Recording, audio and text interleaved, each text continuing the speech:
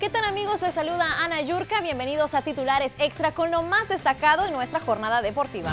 Jorge Vergara quiere de vuelta con las Chivas al Bofo Bautista, jugador que fue clave en la temporada Apertura 2006, cuando el rebaño sagrado ganó su más reciente título y único en la era Vergara. La idea es que el Bofo tenga una temporada de despedida con el Guadalajara, indicó el empresario mexicano.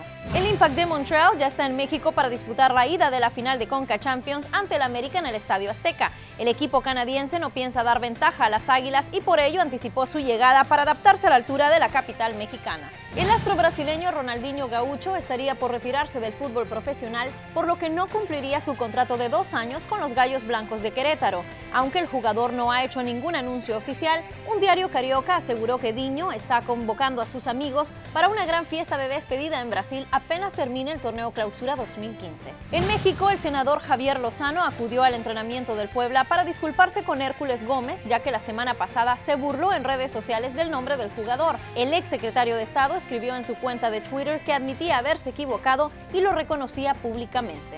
Esto es todo por el momento, hasta la próxima.